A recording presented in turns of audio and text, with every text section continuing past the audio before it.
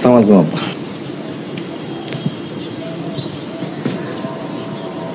আপনার বয়স কত? আপনার সাথে একটু ছোট হব। আপনি আমার তুমি করে বলেন আমি আপনার বড় জামাই।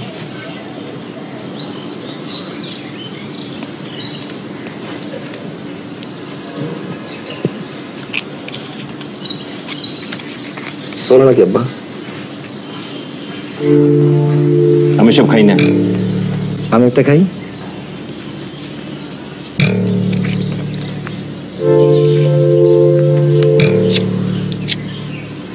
তা তুমি কি করো? আমার বাজার ব্যবসা আছে ইটবালি ব্যবসা করি। কবলটা খারাপ কিন্তু আপনি লাকি আছেন। দেশে একটা বিদেশে একটা।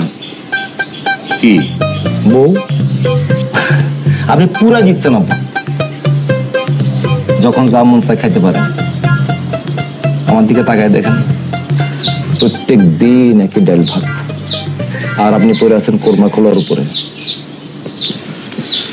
আপনার কপালের সাথে আমার কপালটা যদি একটু ঘষা দিতে পারতাম আব্বা তাহলে এই পকাতের ভাগ্যটা একটু খুলতো।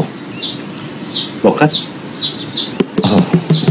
ওই আমার বাপের নাম রাখছিল পলাশ কাদের তরফদার পকাত।